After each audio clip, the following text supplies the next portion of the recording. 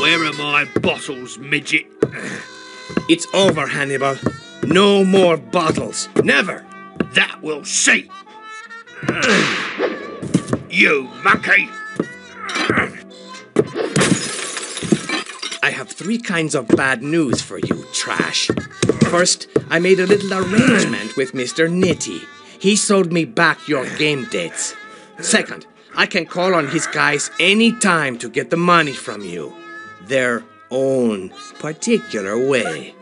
Third, in case I should die, there's a pawn on your tigers at a fur shop, and they'll end up as a coat on some uptown lady's shoulders.